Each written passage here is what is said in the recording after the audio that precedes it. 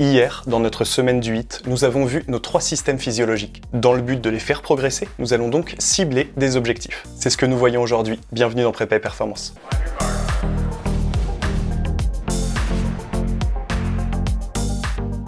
Pour faire progresser nos sportifs, il s'agit de lier les objectifs d'entraînement avec leurs besoins. Pour ce faire, il est important de déterminer des axes bien précis. En clair, c'est se poser la question qu'est-ce que je cherche à développer majoritairement chez mon athlète? Peut-être l'aspect aérobie, peut-être l'aspect neuromusculaire, peut-être les deux. Ces objectifs vont donc se découper en fonction de leur impact sur nos trois systèmes. Dans High Intensity Interval Training, Buchette et Lorson proposent alors six types d'objectifs. Ils appellent ça les cibles du HIT. En décidant de ce que l'on souhaite développer chez nos sportifs, on adaptera nos méthodes en conséquence. En clair, ici je vais vous décrire les six grands types d'objectifs. Et dans les prochaines vidéos, nous verrons les différentes méthodes pour les atteindre. Vous l'aurez compris, ces six types vont dépendre de l'implication de nos trois systèmes. Est-ce que j'ai une grosse implication du système aérobie, anaérobie ou neuromusculaire? Voyons donc ces six types. Le type 1, majoritairement métabolique, générera des adaptations du système cardiovasculaire et oxydatif.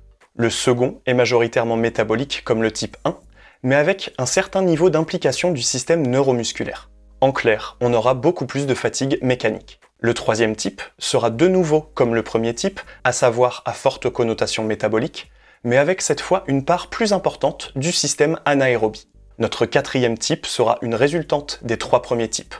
Il sera à la fois intense d'un point de vue aérobie anaérobie et neuromusculaire. Le cinquième type, quant à lui, aura une part aérobie beaucoup plus faible.